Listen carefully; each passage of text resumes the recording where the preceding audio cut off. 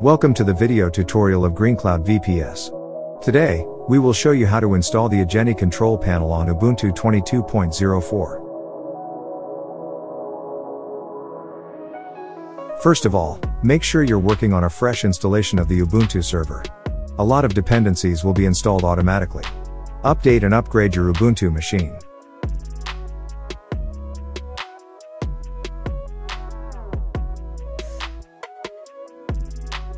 There is a script provided for the installation of the Ajenti control panel. First, download the script with the following command.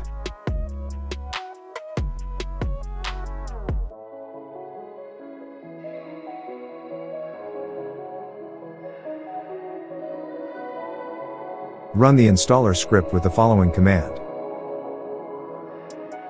The installation of Ajenti could take some time depending on your internet connection. Once it finishes, you should get the following output.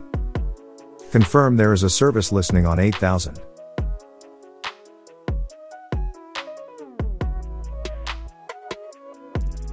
Now, open your server IP address or hostname on port 8000 from your browser.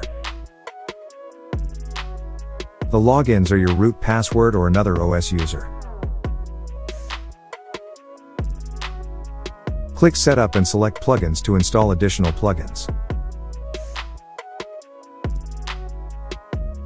You can also install API or PIP as follows.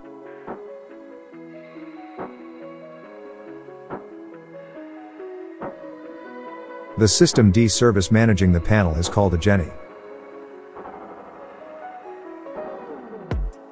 You can also restart anytime as required. Now, enjoy using Ajenti to manage your Ubuntu server from a web console.